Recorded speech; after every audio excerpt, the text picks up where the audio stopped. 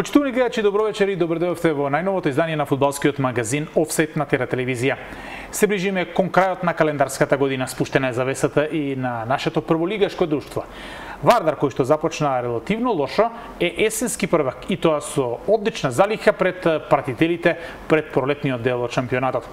Сега ќе настапи зимска пауза таму некаде до крајот на месец февруари, кога повторно ќе се разбудат возбудувањата во шампионатот и купот веќе се одиграни првите мечеви од четврт финалето, а по елиминацијата на Вардар, бранителот на титулата Академија Пандев и Шкендија се најсериозни кандидати и во ова надпреварување. Сепак денешната емисија ќе започне, започнеме со номинациите за најдобрите во фудбалскиот спорт за минатата сезона според Фудбалската федерација на Македонија.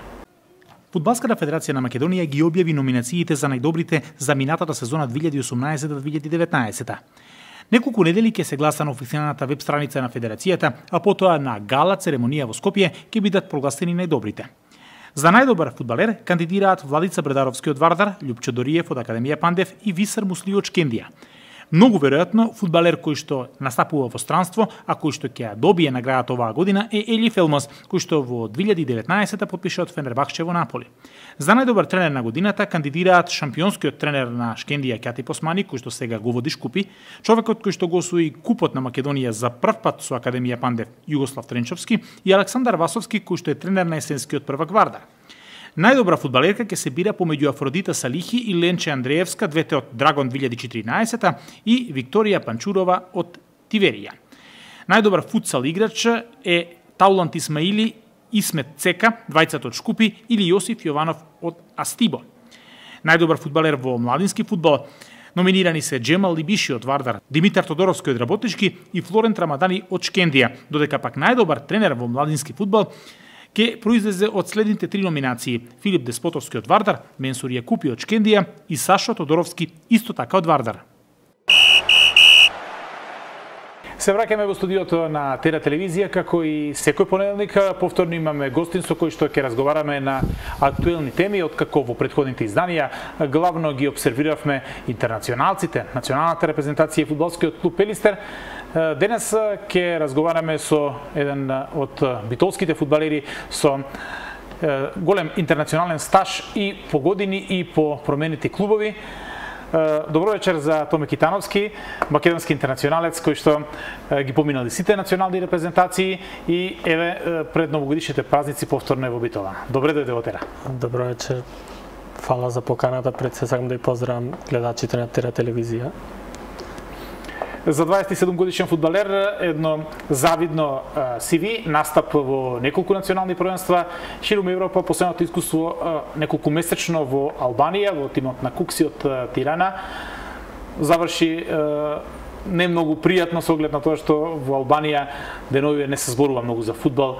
Главна тема е силниот земјотрес кој што го погоди Драч и околината ти за време на земјотресот беше во Албанија, тоа сигурно едно непријатно, кошмарно искуство. Еве да почнеме од последното искуство во Албанија. Да, да, пред се сакам да изразам сочувство до семејствата на загинатите во тој земјотрес. Па за мене и за моето семејство таму, ние бевме во Тирана, земјотресот, знаете, беше во 3.50, утрински часови од спиење, значи такво тресење не би посакувал никој да доживеј. И истиот ден се вратив со моето семејство во Македонија, во Битола. И зборував со директорот, со председателот на клубот. Мислам дека не би сакал да се вратам таму. Мислам дека не е безбедно за мене и за моето семејство после сето она што го преживеав таму. А за клубот Кукси, мислам, се е во ред.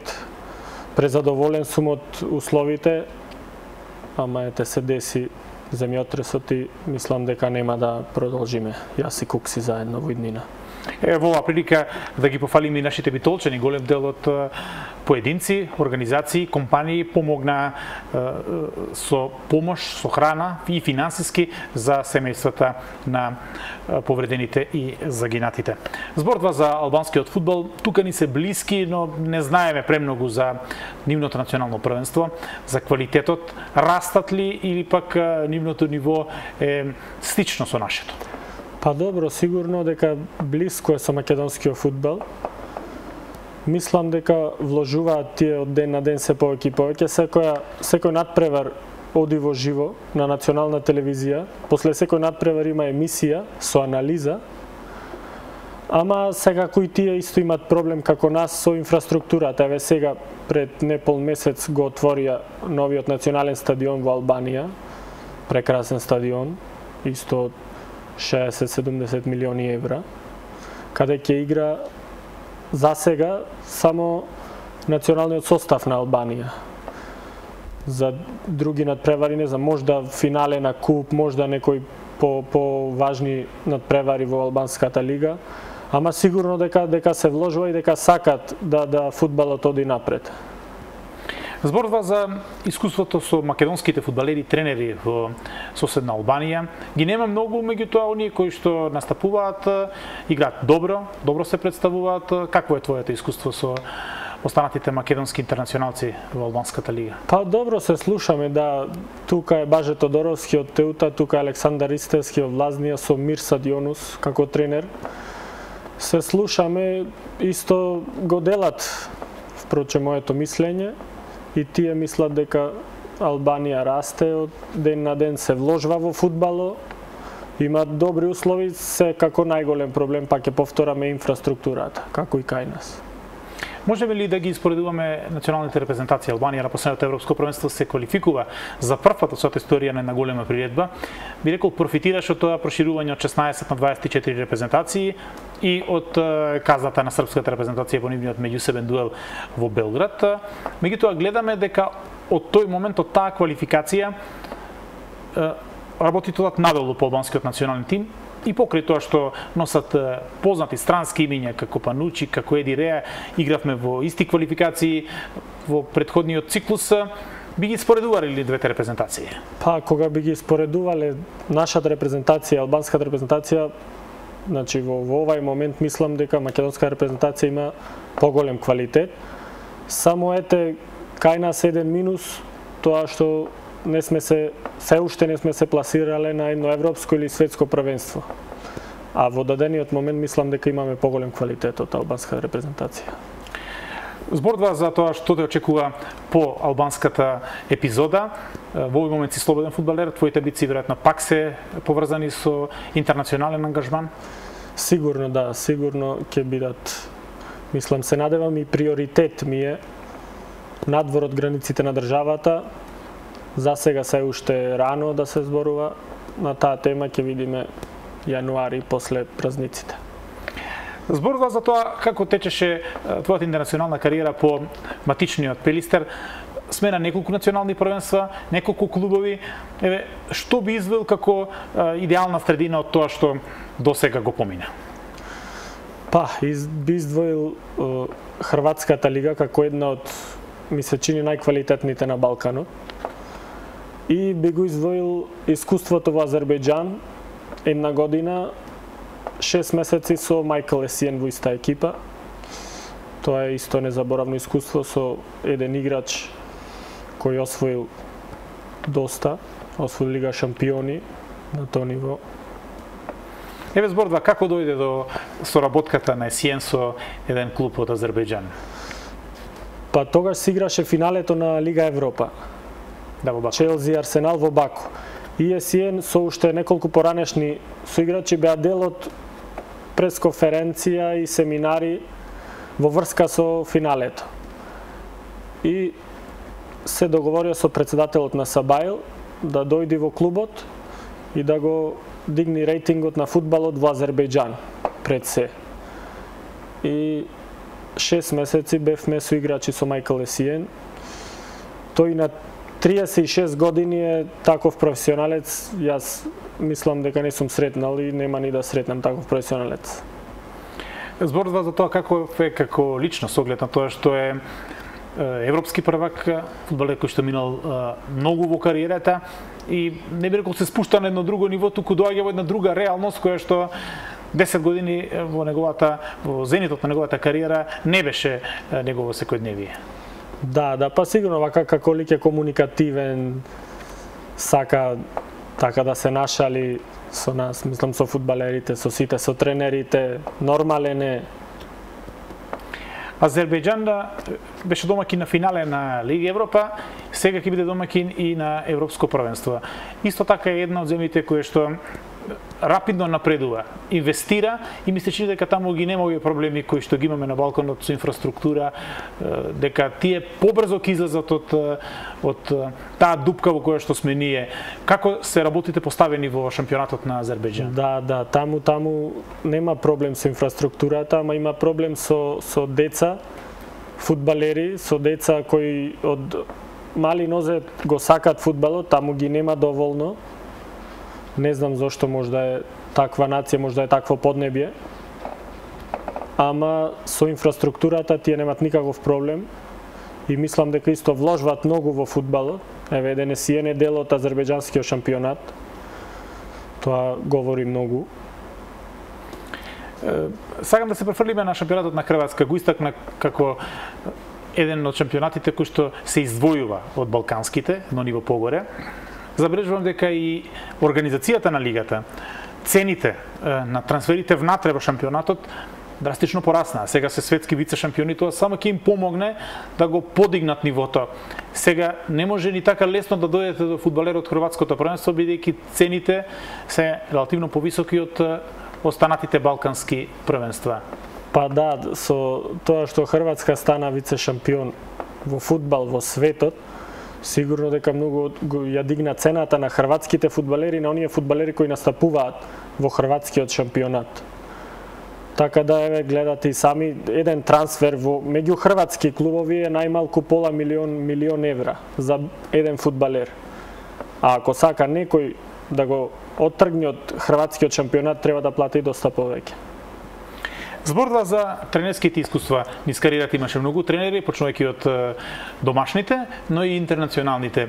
Ке извоиш ли некој кој што ти остави посебен впечаток?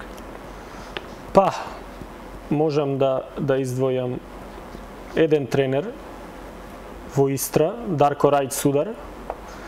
Една година во такви услови, мислам, таков тренер и таков успех да има со, со нас, како екипа,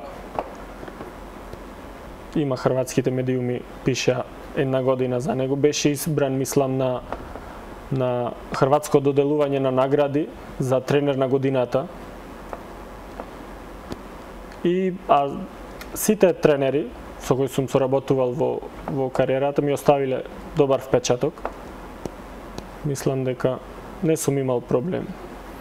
Што се десува до местата каде што живееше, би извоили нешто посебно некој од градовите, од земите кои што ти оставија впечаток и па- кој што би се вратил повторно?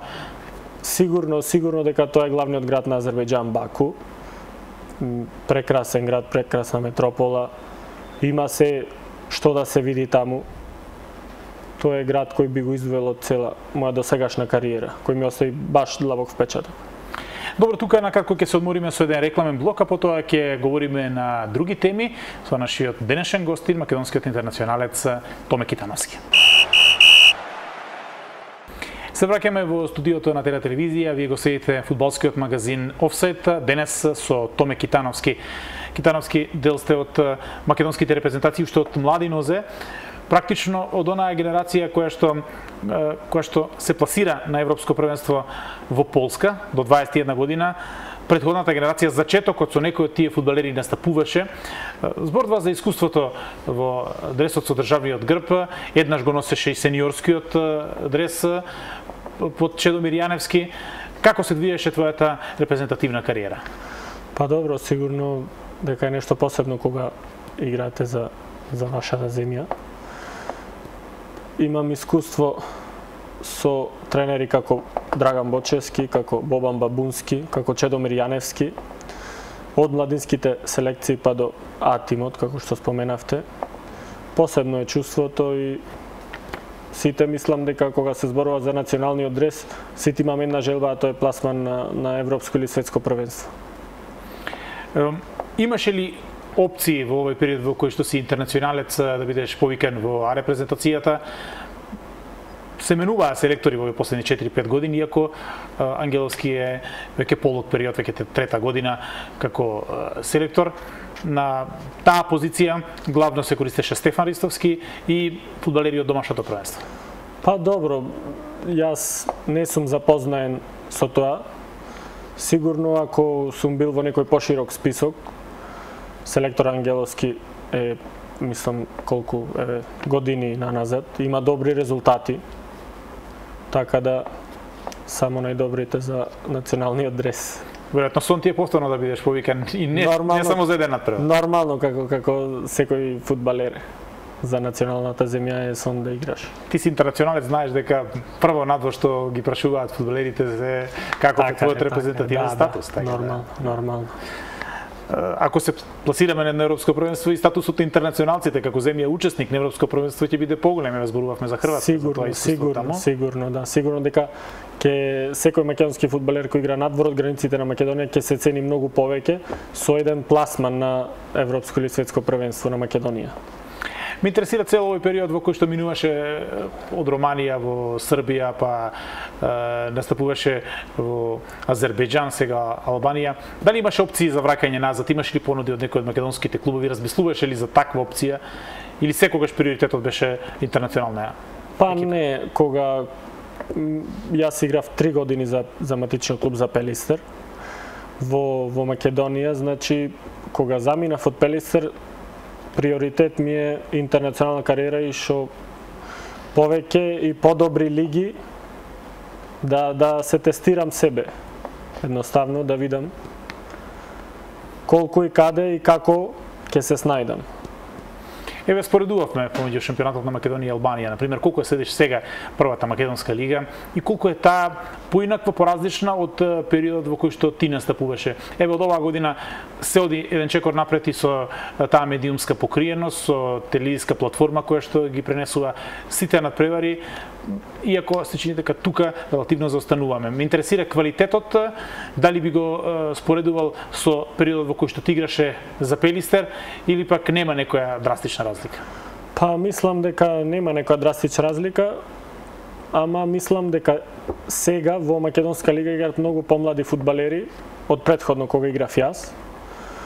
Така да, како што спомна, исто се снимаат так над преварите, одат во живо, еден или два надпревари одат во живо секој викенд. Само уште ни е проблем, мислам дека проблем ни е исто инфраструктурата. Секако дека ја пратам Македонската лига, има многу другари кои играт. Сакам да ја пратам и сакам да да оди Македонија како фудбалска земја напред.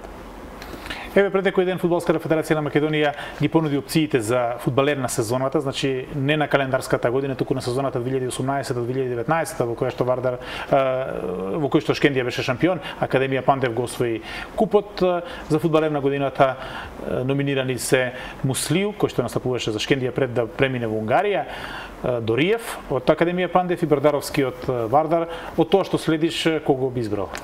Па од тоа што следам сигурно би го избрал Лајца Бардаровски.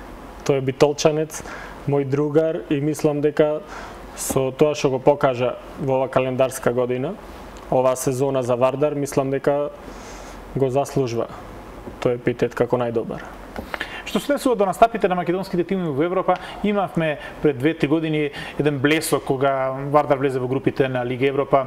Шкендија два пати стигна до плейофот на Лига Европа, но имавме и вакво лето во кое што екипи од скоро аматерски лиги ги елиминираа нашите тимови. Дали сметаш дека претежок е тој скок да го направиме, да играме во групна фаза. Еве, на пример, Албанија имаше еден таков пример со Скендербек. Азербејџан има, не постојани, меѓутоа има по некој блесок. Ние се уште не сме го направили чекорот да влеземе во некоја групна фаза.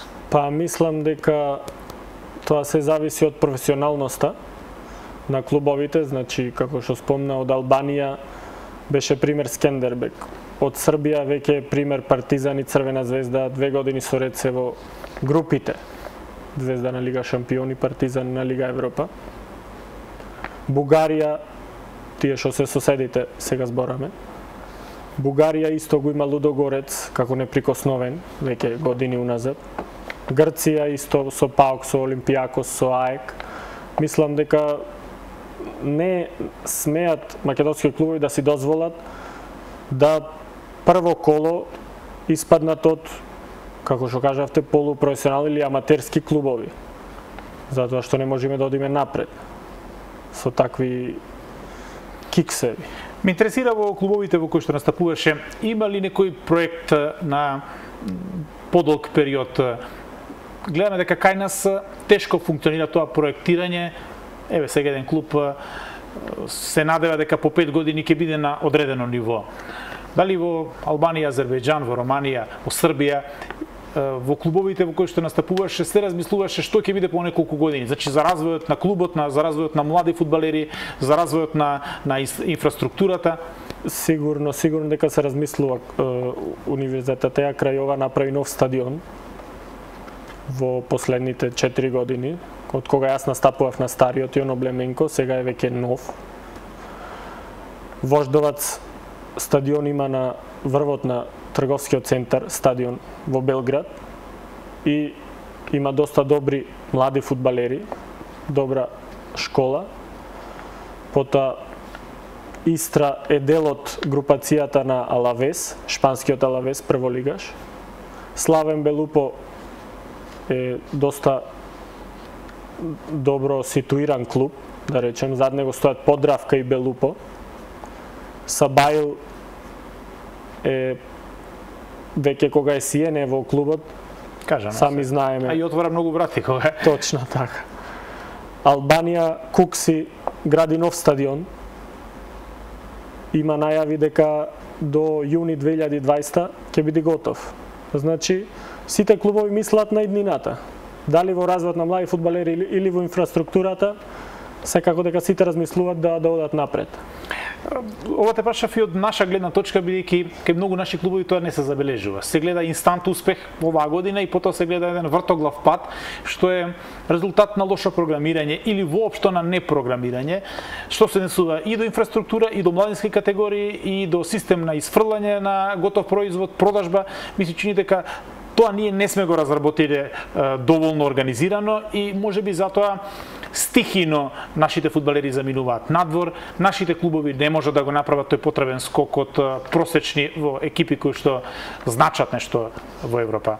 Еве кога го спомена Вождовац, како е да се игра на на стадионот на Вождовац и заради тоа што е на на врвот на на трговски центар и заради тоа што се сите надпревари ги на вештачка трева, Беше ли нешто посебно? Па, па сигурно дека е посебно искуство кога одите на надпревар, влегувате во трговскиот центар, влегувате во лифтот, притискате број 4, излегувате на, на терен на стадионот е, капацитет со 7000 гледачи, вештачка трева која не се чувствува дека е вештачка. И тоа е веќе на 50 метри височина. Да се игра фудбал е баш прекрасно искуство таму и тука ја запознав и мојата сопруга Даниела и Вождовац ми има добар впечаток оставено во мојата кариера. Како навивачите доаѓаат на стадион? Со лифт? Со, со лифт, со, со четири безбедносни кули околу стадионот и нема никаков проблем да се наполни или да се испразни стадионот 7000 гледачи на врвот на трговскиот центар. Интересна идеја. Не знам дали кај нас тоа би го спровеле.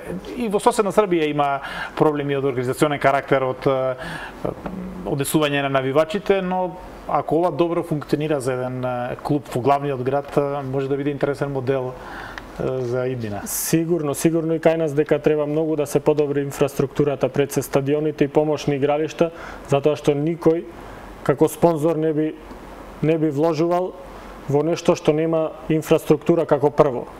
Значи, ако има добра инфраструктура, може да тренират добри млади деца, може да имат добри тренери, добри услови за напредок во кариерата на било кој млад фудбалер, за напредок на клубот, на фудбалот на македонската држава како фудбалска земја на овие простори. Се сеќавам уште кога почнуваше кариерата, офанзивниот дел на игра покрај десната линија ти беше посилната страна, се истакнуваше по долгиот, по, по чекорот, по издржливоста, по брзината најчесто беше користена позиција десен бек, но еден период од кариерата играше и нешто понапред. Како се снаоѓаш од денешна перспектива по искусен си имаш 27 години, се гледаш ли подобро на позиција десен бек или пак можеш да играш подеднакво добро и понапред? Па добро, мојот мојот проблем е што брзо се прилагодвам на тренерот и на стратегијата и на формацијата која тој ја бара и можам и на една или две позиции да да одиграм како тренерот што сака или што замислил. И така да во, во сите клубови не сум играл само на покрај десната аутлинија, сум играл и понапред. Така да сега веќе, како што кажавте, искуство си го прави своето. Не ми е чудно и да играм и понапред, не ми е тешко. Се сеќавам те прашам ова заради тоа што се сеќавам дека во Србија имаше имаше една серија на надпревари во кои што вообичаено за својата екипа беше асистент, стрелец и играше поблиску до до голот. Да, да, па сигурно и во Србија и во Хрватска кај што играв поблиску до голот, имав и голови и асистенци, затоа викам брзо се прилагодвам па ми е полесно. Фудбалот денес е многу физички, гледаме дека дека професионалците да трчаат многу просек преку 11-12 км по надпревар. Имаш ли свој модел е, на фудбалер на таа позиција, без разлика дали е локален тука од Македонија или пак од Европа? Се подпираш ли на некој стил на игра? Па, стил на игра многу многу ми се допаѓа премиер лигата така како стил на игра. Мислам дека тука е вистинскиот фудбал сигурно дека физиката и техниката нормално за еден фудбалер се многу битни. Како што кажавте, сега се скоро 70% или 80% на физика. А техниката е веќе занемарлива. Така да, ама сепак гледаме дека Меси ја зема шестата златна топка. Не е се во физиката. Секако. Зборда за Пелистер, колку го следиш твојот матичен клуб е веќе не знам колку години мина, 5-6 години од твоето заминување. Го следиш ли актуелниот Пелистер? Гледаме некои позитивни ветрови, обид да се избрише ланската сезона во која што не успеа да се врати во првата лига и од наредната година да го гледаме во елитата. Па, сигурно дека го следам мојот матичен клуб. Сега се први во, во втората лига. Добро го познавам спортскиот директор, Пеце Коруновски, мислам дека знај како треба Пелистер да го врати во првата лига. Гледам дека има многу млади фудбалери. Гледам дека тие настапуваат за Пелистер и настапуваат со добри игри и мислам дека ќе нема проблем да во мај ние следиме од мај другата сезона Пелистер во прва лига го следиме. Си размислувал ли некогаш кога ќе дојдеш на крајот од кариерата да завршиш во матичниот клуб? Па сигурно дека сум размислувал да и сега се уште е рано, ама мислам дека така и ќе биде дека желба ми е да мојата кариера каде што ја почнав таму и да ја завршам во матичниот клуб. Веруваме на нов стадион или барем на реновиран, бидејќи најавите се дека новата трибина ќе биде готова некаде напролет. Се надеваме со нов стадион и европски мечеви за, за нашиот Пелистер. Е, со ова убава желба да го завршиме нашиот вечерашен разговор. Тоа благодарам што беше наш гостин. Ти посакувам да имаш добар природен рок, подготвен да ја дочекаш новата, се надевам интернационална следина и да те гледаме повторно ширум Европа со континуирани добри настапи. Да не бидеш гостин во иднина како член на некој нов голем европски клуб. Ви благодарам и вас многу.